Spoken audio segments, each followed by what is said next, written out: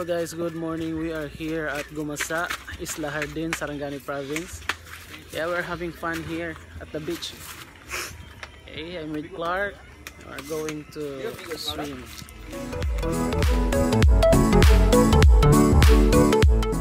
So this time I'm gonna show you the beach. Okay, this is Isla Hardin del Mar.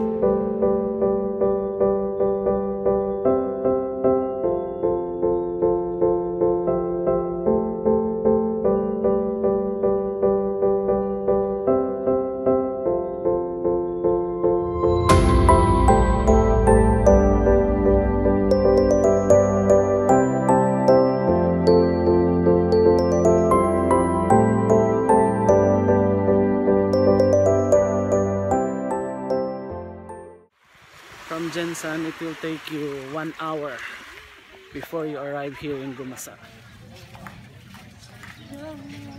So guys, uh, may complimentary breakfast dahil may yun sa akong friend. Mag-coffee na lang. Dito kami sa cafeteria.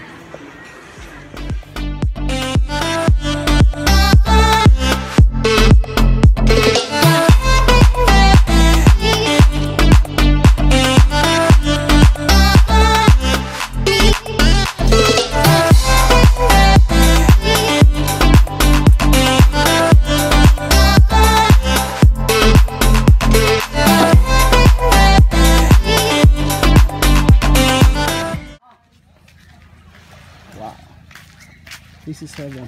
Yeah, pila ning kuan? Pila ng banana boat? 2,000 sir. 2,000? Oh, wala ka tao. Pila ka tao? Walo. Walo na? Pila ka minuto? 15 sir. 15 no? Sige, sige. Oh, ano sir, hindi na kay ako yung gusto na layo man dagana na. Sige ah. ya. Abilis yan lang tanan kay na may baby speedboat. Ano ah? Planuhan na mo sa mga kauban. Ah. Sige. Doon lang ko niya. Ang banana boat is 2,000. Good for 9 person na. Yan.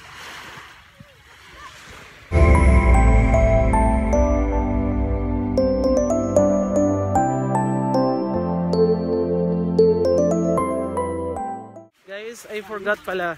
Kasama pa pala namin dito si Yeng Con- Constantino. Say hi, Yeng. Hi, Yeng. She's from Davao. Meron siyang ano doon eh. Meron siyang concert.